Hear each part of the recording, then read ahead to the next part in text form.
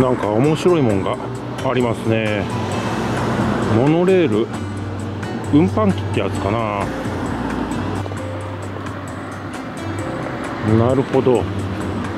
まあ上までねこれ持ってくの大変ですからね。うんこういうとこに暮らすにはこういう設備にもね投資しないといけないわけですよね。まあ、これこれもね一種の鉄道ですからね。個人鉄道引けますね。今日はね湿度が低いおかげでねこうやって日陰に入っちゃえばねほんとね涼しくてね爽やかなんですよ。風が吹くとねちょっと寒いからねまた日向に出たいとは思うんですがね。日向のね海岸より歩いててなんかちょっとね当てが外れた感じなんですよね。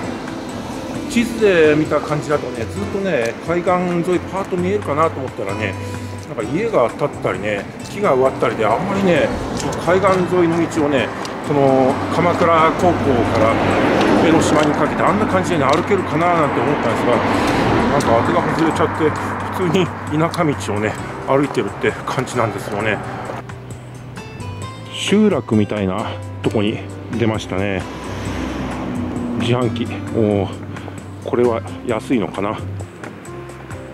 ちょっとは安いですね。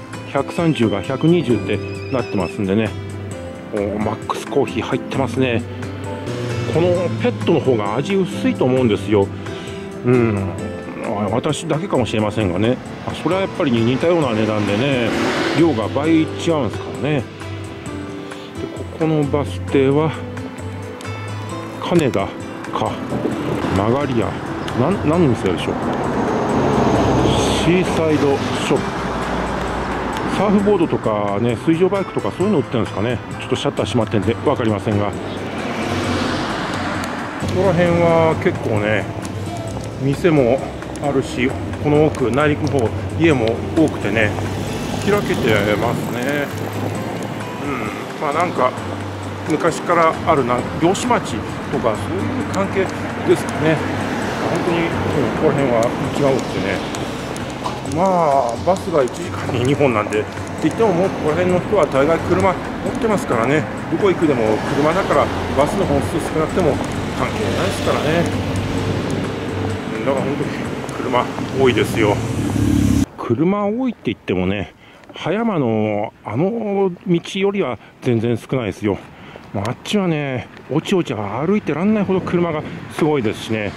今日そうこのね5月3日みたいなしかもこんないい天気あっちの方はすごい渋滞でしょうね。のんびりこっちはまだ行けるんでマシですよ。こうやって車がねこうなければ本当にいい感じの静かな田舎町ですからね。やっと私がね求めていた感じになってきましたよ。こういうところをねずっと歩きたいってそんな希望なんですよ今日はね。あえてねこんなゴールデンウィークの真ん中にこんなとこ来たっていうのは、ね、やっぱり人が少なそうだからっていうのがあるんですよね。うんでもちょっと車が多いんでねそれがちょっとうるさいなってとこですね。でもね三浦半島平日でもね車多いですから平日にねシフトが合うあるいは有給取ってきても同じかもしれませんけどね。ここら辺はあこれ漁港みたいですね。うん、これはな。あいいねこの感じはね。あ日替わりランチ。朝市とかなるほど。まあもう昼間ですからね。朝市はやってないんですけど。ここでね営業中だからレストラン漁師の飯が食えるってどうですかね。これは立派なバス停ですよ。岩淵。うん次は尖ですか。確かこういう感じですよね。そうそう城ヶ島にあったのもね。パンジュース山崎。うん、自販機はやってるんでしょうけど店の方は、うん、どうでしょうね、まあ、休日なんではっきりやってるか分かりませんが。漁港のああそうか。漁港のことでこう栄えてるんだなこの辺はな。このまま通り過ぎるのもなんなんでちょっとだけ見学していきましょう。まったりとして静かでいい感じですよ。わざわざここにねこの雰囲気この空気を吸いに来るためだけに来てもまあいいんでしょうね。漁船渋いですな。あトンビが鳴いてますね。のどかでいいですよ本当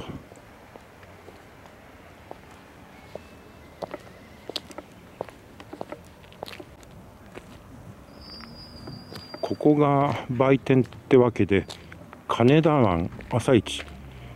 そうするとここでね取れたてのイワシだのホタテだの買えるんでしょうけれどでもここで朝市ね来るって言ったら前日から宿を取らないとダメだよな。地元の人はともかくね。いや本当に地元の人が羨ましいですね。さてまた道に戻りましょう。こういうとこにね休みの日やってくるって人は、まあ、車はともかく単車とか自転車ですね。さすがにね歩くって人は稀ですからね。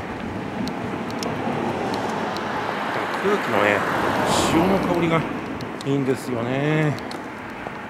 だからやっぱり自転車がね最高かもしれませんね。このね口かけた感じがいいんですよ。もう錆びちゃってね。で日に照らされた植物だけが元気があると。味ですな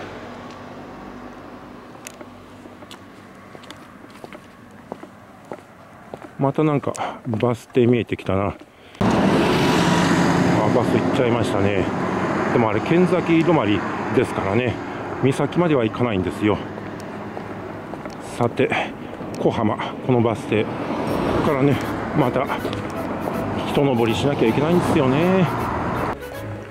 電動自転車じゃないとまあちょっと辛いもんがあるでしょう。でもまあああやってね競技用自転車みたいに乗ってる人はもう脚力すごいですからね。こんなの逆にご褒美でしょうね。これで筋肉がつくぞ。みたいにね。もう緑豊かですからね。で振り返れば海がパーッとね。うん。本当緑濃いよな。もう5月もそろそろねもうあと1週間もしれない半ばですからね。ちょっと気になったんでね寄り道してるんですよ。このてっぺんには何があるのやらってね畑しかないのかな？ん？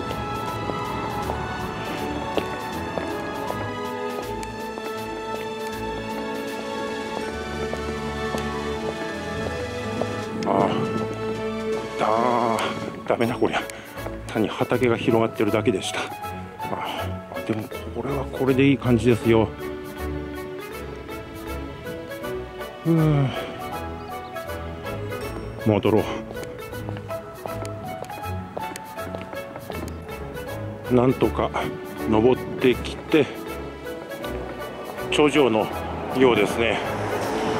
そうですね。このコンビニもね Google のねストリートビューで予習してたんですよ。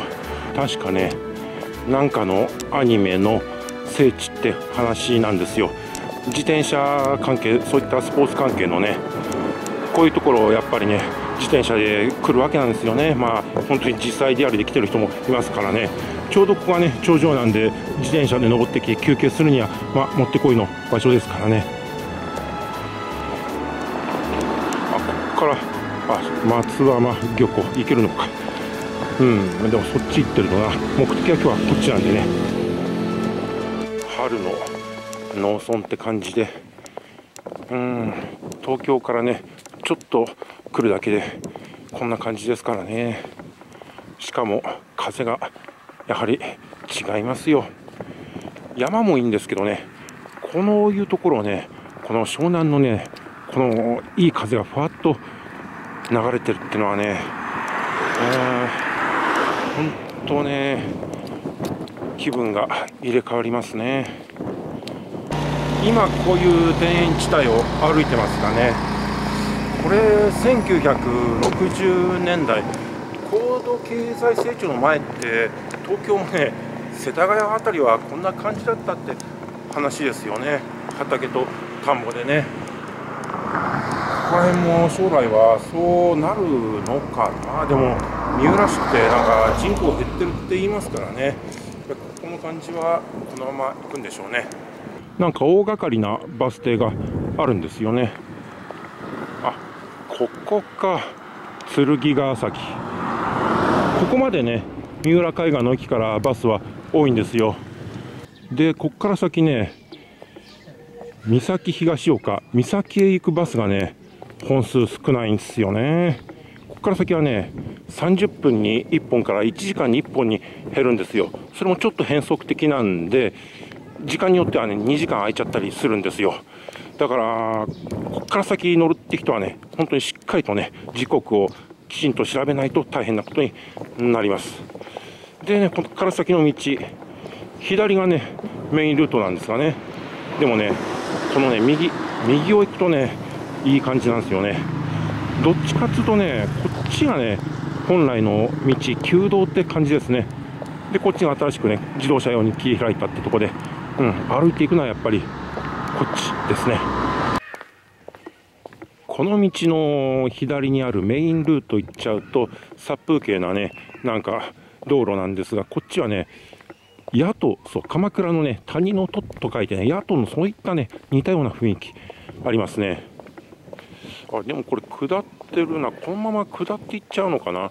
あでもなんか上り返しがありそうだな。まあ舗装道路だしね。山道じゃないからまあいいでしょう。特に上り返すこともなく道に出ましたね。あなるほど。ショートカット短絡してるわけね。うん、いやこれは馬頭観音とかそういうのですかね。あんまりこういうの詳しくないんでよう分かりませんが、まあ、たまらない人にはこういうのたまらないのでしょうね、まあ、こういうのをねこう取り歩いてるっていう写真家の人もいそうですからね、これもまたさてお海が見えてきた、うん。いい感じだ。そうこの感じがいいんですよ。そうここがねとりあえず今日のね、まあ、軽い目的地の確か松和港で良かったのかな、うん、違うかもしれません。がとにかくあそうそう、うん、あそこにあそこにねこの松和って書いてありますからね。これがね松和港でしょ。う、うん、いい雰囲気だ。